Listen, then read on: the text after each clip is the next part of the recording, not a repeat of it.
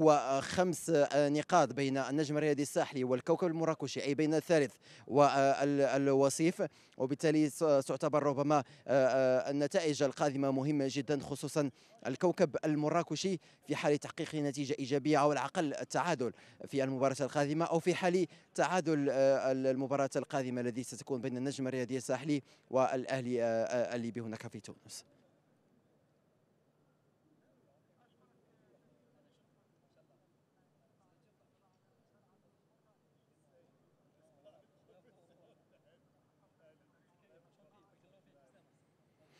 شكرا.